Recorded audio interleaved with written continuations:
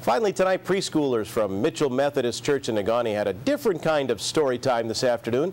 Seventh and eighth graders from Negaunee's middle school next door invited the preschoolers over for iMovies based off children's books. The middle schoolers have been working on the movie since the beginning of the school year. They've added narration and music to each story, then burned them to DVDs for the youngsters to watch.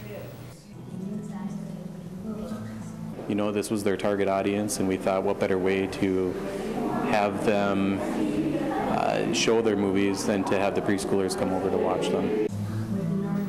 Well, the middle school students also had some treats for the youngsters. What would movies be without popcorn and pop, which were served up for everyone's enjoyment?